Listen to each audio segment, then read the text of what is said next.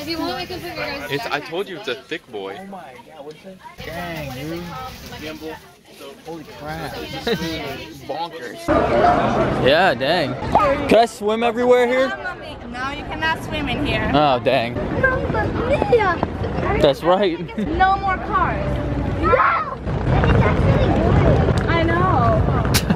he was expecting it to be bad. So was telling me last night that like people don't have like boats just like as cars here. People, a lot of people just walk. Um, excuse me, I was told uh, wheels were illegal. Why? Someone got heelys? No, look at all the buses. The gondola. The gondola. All right, all right.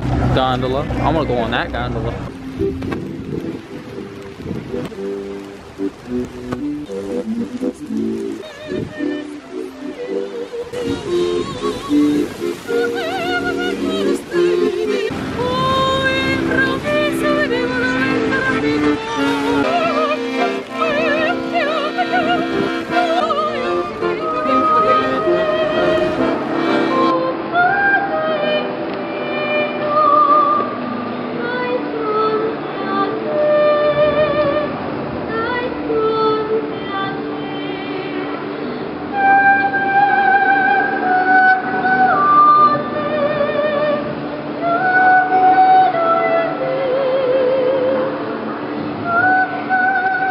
Titanic Part 2. This hotel is nuts.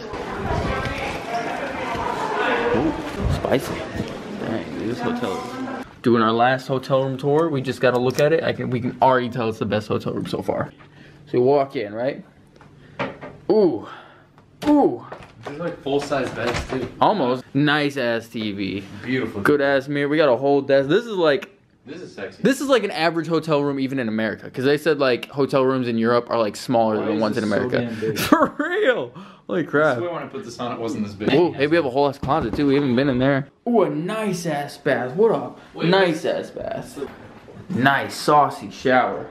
Podier toilet. Yeah. Day seven. I just took a walk and ended up at this gorgeous ass spot, man. Let me tell you. Bus ride. We took a tour of Venice. We ended up back at the hotel when you guys saw the hotel room tour. At some the restaurant in the hotel. Tomorrow's our last real day, and then we head home. Is so dope.